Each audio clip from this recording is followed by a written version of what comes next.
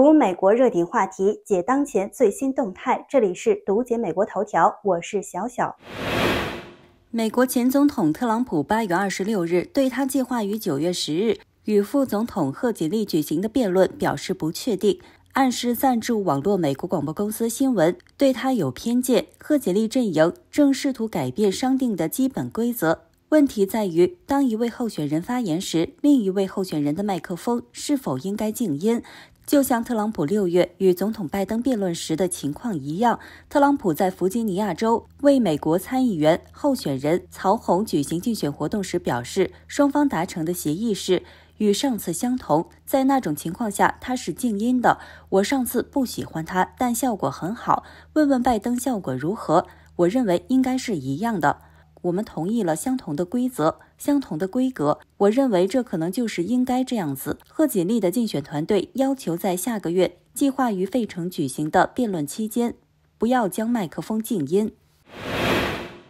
共和党总统候选人特朗普猛烈抨击副总统现任竞争对手贺锦丽近日在伊利诺伊州芝加哥举行的民主党全国代表大会上的表现。近日，特朗普在亚利桑那州格伦戴尔举行的竞选集会上发表讲话，称贺锦丽是个编造废话的骗子，并指责副总统只关注他。而不是讨论美墨边境或通货膨胀。上周，贺锦丽接受民主党总统提名，发表讲话，制定了广泛的外交政策原则，与距离选举日还剩十一周的特朗普形成鲜明对比。贺锦丽在演讲中还承诺为国内中产阶级减税，结束美国的住房短缺和安全的南部边境。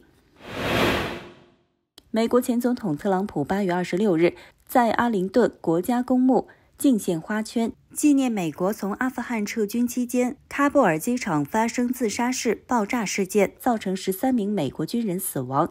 当天晚些时候，特朗普前往密歇根州。在美国国民警卫队协会的会议上发表讲话，预计特朗普将试图将他的2024年民主党竞争对手副总统贺锦丽与陷入困境的阿富汗撤军联系起来。这是美国占领阿富汗二十多年后，总统拜登下令撤军的2021年8月26日发生的机场爆炸事件，发生在一次混乱的空运过程中。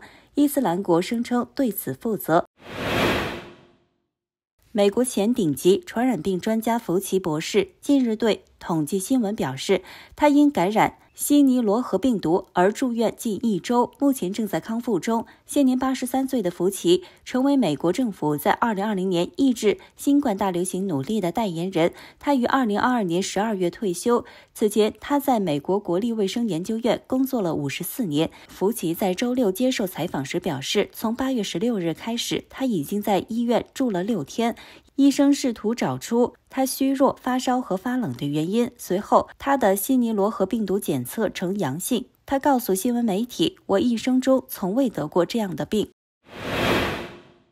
好了，以上就是今天读解美国头条的全部内容。感谢您的收看，咱们下期再见。